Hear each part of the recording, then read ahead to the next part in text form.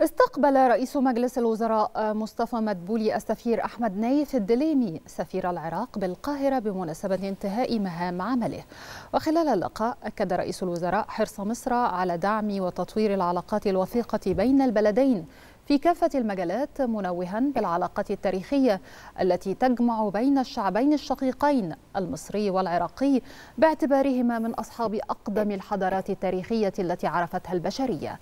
وفي ذات السياق ثمن رئيس الوزراء التعاون القائم مع العراق الشقيق سواء على المستوى الثنائي أو الإقليمي. في إطار آلية التعاون الثلاثي مع الأردن مؤكدا اهتمام الرئيس السيسي بمساندة العراق الشقيق حتى يستعيد مكانته التي يستحقها باعتباره أحد مراكز الثقل والحضارة في عالمنا العربي.